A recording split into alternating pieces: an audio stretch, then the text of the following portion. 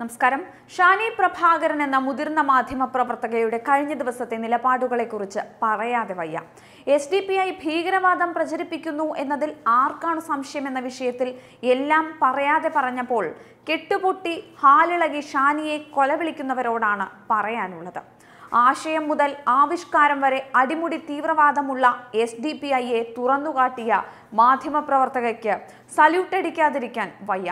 ഏതു വേഷപ്പകർച്ചയിലെത്തിയാലും തിരിച്ചറിയുകയും പ്രതിരോധിക്കുകയും ചെയ്യേണ്ട സാമൂഹ്യ ഭീഷണി തന്നെയാണ് എസ് ഡി പി ഐ കേരളത്തിന്റെ സാമൂഹ്യ ജീവിതത്തിൽ ഒളിഞ്ഞും തെളിഞ്ഞും മതവർഗീയതയുടെ ഭിന്നിപ്പ് കുത്തിവെക്കാൻ ശ്രമിക്കുന്ന അപായ മുന്നറിയിപ്പാണ് എസ് ഡി പി ഐ കേരളത്തിനോ കേരളത്തിലെ മുസ്ലിം സമുദായത്തിനോ എസ് ഡി പി ഐ എന്താണ് എന്നതിനെക്കുറിച്ച് മുഖപുരകൾ ആവശ്യമില്ല. ഏതു പേരിൽ ഏതു വേഷത്തിലെത്തിയാലും പിന്നണിയിലുള്ള തീവ്രവാദത്തെ തിരിച്ചറിയാൻ വേണ്ടുവോളം അനുഭവങ്ങൾ കേരളത്തിന് ഉണ്ട് എന്നും ഷാനി പ്രഭാകരൻ പറയുന്നു.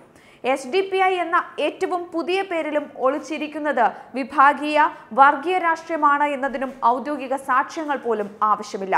ജനാധിപത്യ വിരുദ്ധമാണ് മനുഷ്യത്വ വിരുദ്ധമാണ് രാഷ്ട്രീയം എന്ന പേരിൽ നടത്തുന്ന വിഭാഗീയ പ്രവർത്തനങ്ങൾ. കൈവെട്ടിയും കൊന്നൊടുക്കിയും സൃഷ്ടിച്ചു വച്ചിരിക്കുന്ന ഭീതിയുടെ അടയാളങ്ങളും വ്യക്തമാണ്. മനുഷ്യാവകാശ സംരക്ഷകരെന്നും സമുദായ സംരക്ഷകരെന്നും അവകാശപ്പെടുന്ന എസ് ഡി പി ഐ തന്നെയാണ് സമുദായത്തിനും സമൂഹത്തിനും ഏറ്റവും വലിയ വെല്ലുവിളികൾ.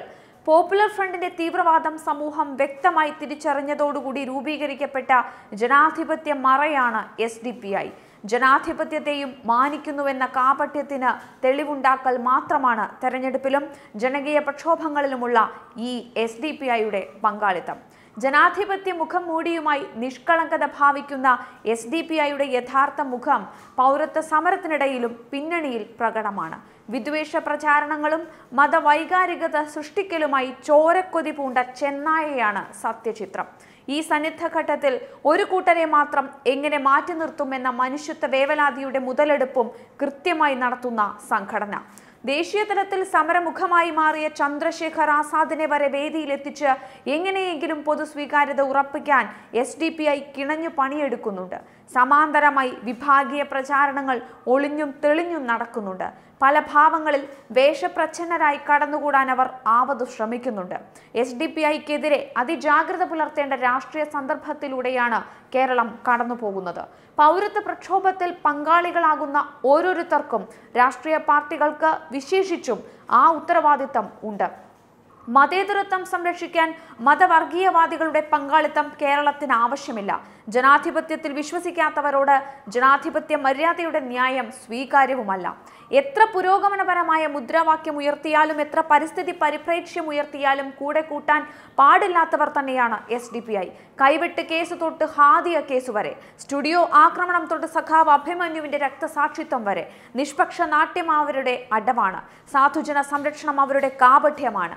ആംബുലൻസ് സർവീസ് ഹവാല പണത്തിന്റെ വിനിയോഗമാണ്.